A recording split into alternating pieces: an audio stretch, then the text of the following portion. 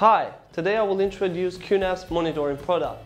Before operating, I will simply introduce QNAP monitoring solutions. QVR Pro, QVR Pro Client, QVR Center, QVR Guard. QVR Pro is a monitoring and management environment via QNAP NAS.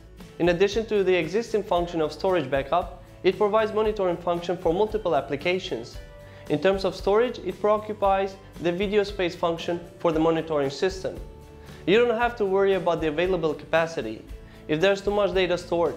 Space with 8 free built-in camera channels.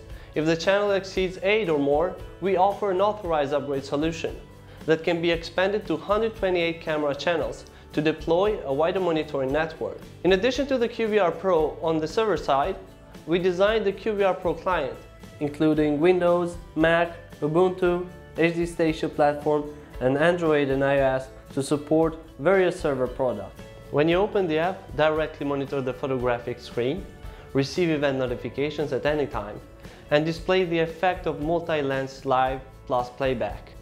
We can see that the mobile phone is exactly the same as the major features on the NAS. You don't need to learn two operating environments.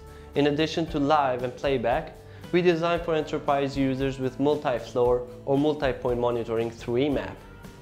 You can know the status of each camera more accurately and it is more user-friendly in management.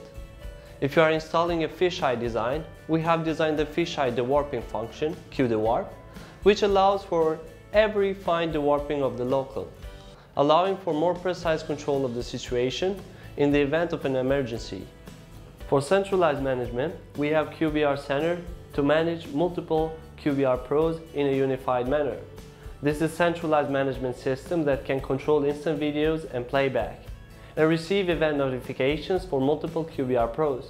We have a complete backup mechanism, QVR Guard, as a failover server when detecting a hardware failure or malfunction of the server. QVR Guard's failover function can quickly connect to the video task and make sure the surveillance video is uninterrupted.